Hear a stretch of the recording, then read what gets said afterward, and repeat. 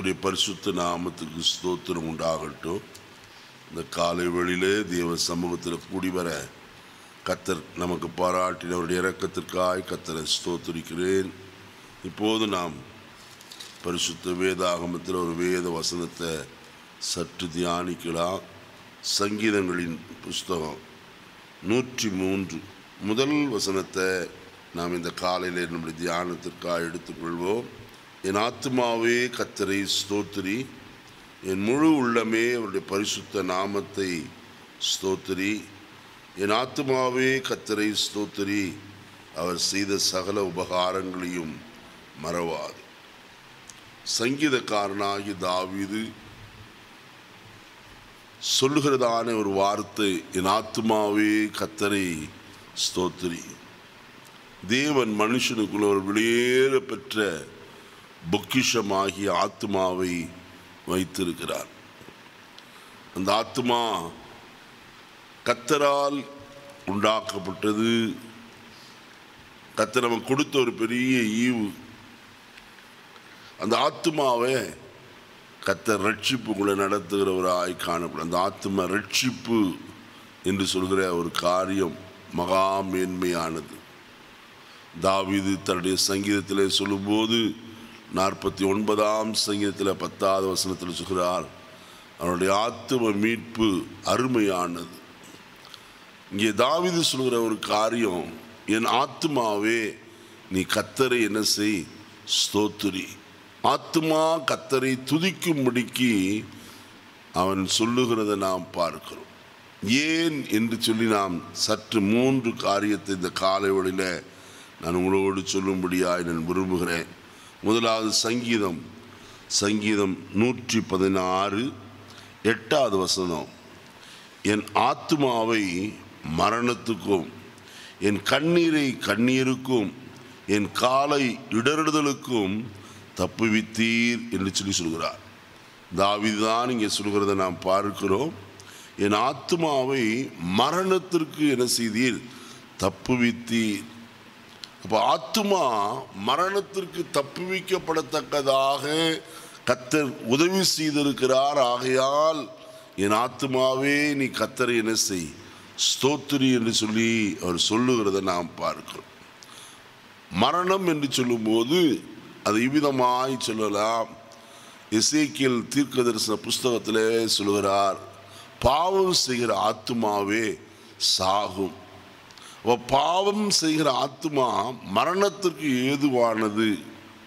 அந்த மரணத்திற்கு மரணத்திலே இருந்து என் ஆத்மாவை என்ன செய்திருக்கிறார்? தப்பு வைத்திருக்கிறார் என் ஆத்மாவை மீட்டெடுத்திருக்கிறார். மரணத்திலே இருந்து. அப்போ என் ஆத்மா மறிக்காதபடிக்கு அது பிழைத்திருக்கும்படிக்கு செய்தவர் கத்தர் ஆகையால் கத்தரை ஸ்தோத்திரி என்று சொல்லி தாவிது சொல்கிறத நாம் பார்க்கிறோம். ஆத்ம மீட்பு மேன்மையான ஒரு மீட்பை கத்தர் சிலுவையில் நமக்கு சம்பாதித்து கொடுத்திருக்கிறார். இயேசு கிறிஸ்துவின் இரத்தத்தினாலே நம்முடைய ஆத்மா மீட்கப்பட்டிருக்கிறது.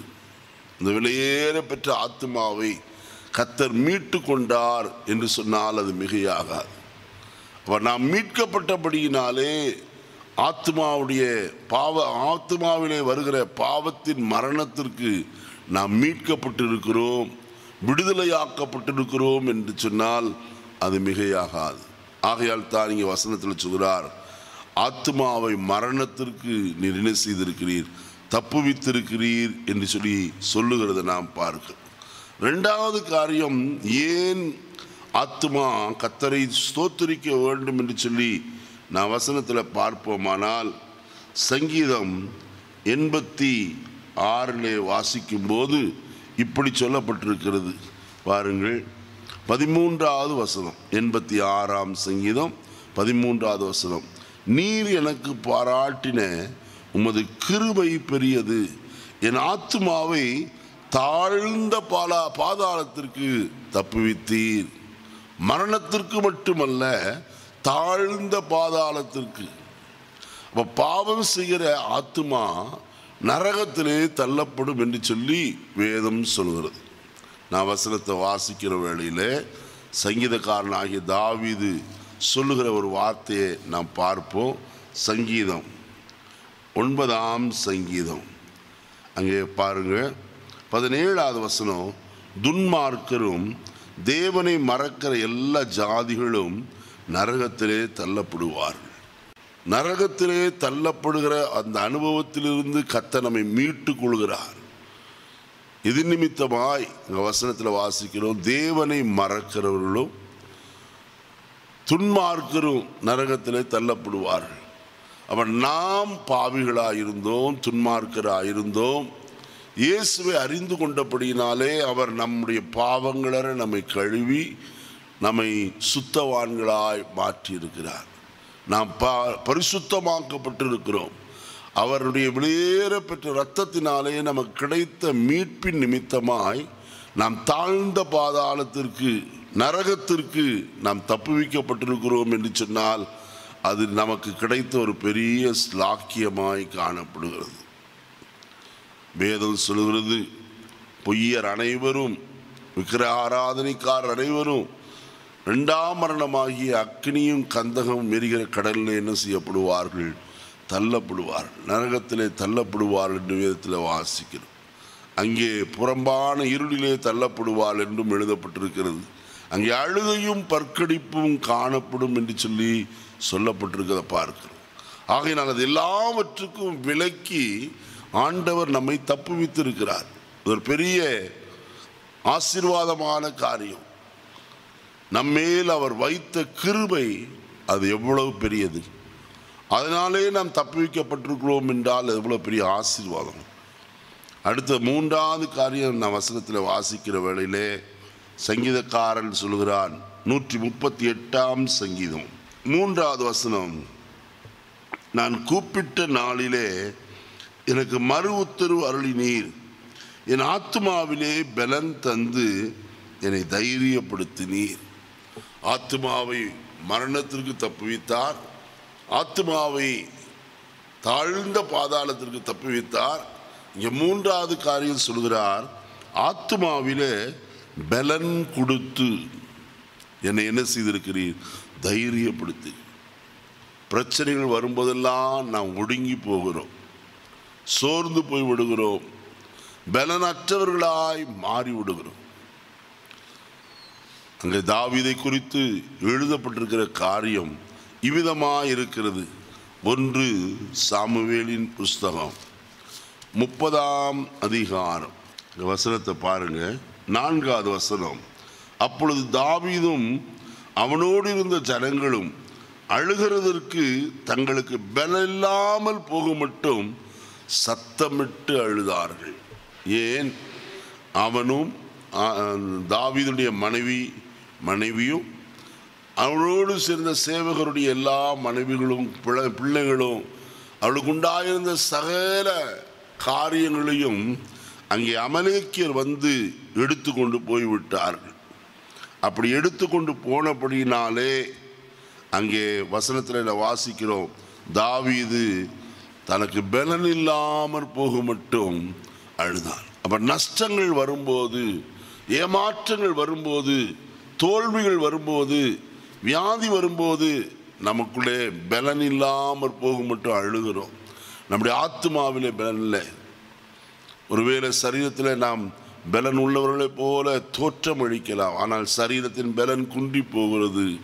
துக்கத்தை நினைத்து வேதனைகளை நினைத்து அதே போல் நமக்கு உள்ளான ஆத்மாவிலேயும் பலனற்று போகிறோம். இனி அவ்வளவுதான். இனி என்ன நமக்கு என்று சொல்லி சோர்ந்து போய் விடுகிற ஒரு அனுபவம். தாவீது அப்படி அழுதான் ஆனால் வேதவசனம் சொல்கிறது அவன் தன் தேவனாயி கத்தருக்குள் கீழே வசனங்களை வாசிக்கும் போது அவன் தன் தேவனாயி கத்தருக்குள் தன்னை திடப்படுத்தி கொண்டான் என்று எழுதப்பட்டிருக்கு. அப்போ கத்தர் அவனை திடப்படுத்துகிறவராய் காணப்பட்டார். தைரியப்படுத்தினார். இந்த காலையில் நான் ஒன்றை நன்றாக எறிய வேண்டும். அவர் நம்முடைய ஆத்மாவிலே பலன் தந்து நம்மை தைரியப்படுத்துகிறவராய் காணப்படுகிற பயப்படாதே. நான் உன்னுடனே கூட இருக்கிறேன். நான் உனக்கு சகாயம் பண்ணுவேன். என் நீதியின் வலது கரத்தினால் உன்னை தாங்குவேன் என்று சொல்லி அவர் சொல்லுகிறாரே. அது ஒரு பெரிய ஆசீர்வாதம். அவருடைய வாக்கு தத்துவங்கள் நம்மை தைரியப்படுத்துகிறது. அவருடைய வார்த்தைகள் நம்மை பலப்படுத்துகிறது. நம்மை உற்சாகப்படுத்துகிறது. ஒரு தைரியத்தை உடையவர்களாய் மாறிவிடுகிறோம். அங்கே வசனத்தில் ஒன்று சாவேல் முப்பதாம் அதிகாரத்தில் பார்ப்போமானால் தாவீது தேவனாய் கத்தருக்குள் தன்னை திடப்படுத்தி கொண்ட பிறகு அவன் செய்த காரியம் அங்கே அமலேக்கரையும் அவன் பின்தொடர்ந்து போய் அந்த தண்டை அவன் முற்றிலும் எல்லாவற்றையும் திருப்பி கொண்டு வந்தான் என்று எழுதப்பட்டிருக்கிறது கத்தர் ஆத்மாவிலே பலன் தந்தால் நாம் தைரியமாக எதையும் சாதிக்க பலன் உண்டு. தாவிது சொல்லும்போது சொல்கிறார் உம்மாலே ஒரு சேனைக்குள் பாய்வேன். உம்மாலே ஒரு மதிலையும் தாண்டுவேன் என்று பதினெட்டாம் சங்கத்தில் சொல்கிறார் ஆகையில் கத்தராலே நமக்கு பலன் கிடைக்கும். இன்னும் ஒரு காரியத்தை மட்டும் நான் சொல்லி முடிக்க விரும்புகிறேன். இந்த ஒ- ஒன்று சாமியலின் புஸ்தகம் ரெண்டாம் அதிகாரம். முதல் வசனம் சொல்கிறது அப்பொழுது அன்னால் ஜெபம் பண்ணி என் இருதயம் கத்தருக்குள் களி கூறுகிறது. என் கொம்பு கத்தருக்குள் உயர்ந்திருக்கிறது. என் பகைஞர் மேல் என் வாய் திறந்திருக்கிறது. உம்முடைய ரட்சிப்பினால் என்ன செய்கிறேன்? சந்தோஷப்படுகிறேன் என்று சொல்கிறார். அவர் என் ஆத்மாவுக்கு பலன் தந்து என்னை தைரியப்படுத்த முடியும். தைரியப்படுத்துகிற தேவன் என் ஆத்மா கத்தருக்குள் என்ன செய்கிறது? களி கூறுகிறதாய் காணப்படுகிறது. இருதயம் களி கூறும்படிக்கு கத்தர் செய்கிறவராய் காணப்படுகிறார். ஆயினால் தான் தாவிதி சொல்கிறான் என் ஆத்மாவே கத்தரை ஸ்தோத்திரி. அவர் நம்மை மரணத்திற்கு தப்புவிக்கிறவர் தாழ்ந்த பாதாளத்திற்கு தப்புவிக்கிறவர் நம்முடைய ஆத்மாவிலே பலன் தந்து நம்மை தைரியப்படுத்துகிற தேவன். இப்படிப்பட்ட தேவனை உறுதியாய் பிடித்து கொண்டால் நம்முடைய வாழ்க்கையில் கழி கூறுதல் உண்டு மனமகிழ்ச்சி உண்டு. நம்மை தினமும் அவரே நடத்துகிறவராய் காணப்படுவார். கத்தர்தாம் இந்த வார்த்தைகளை நமக்கு ஆசீர்வித்து தருவாராக. ஆமே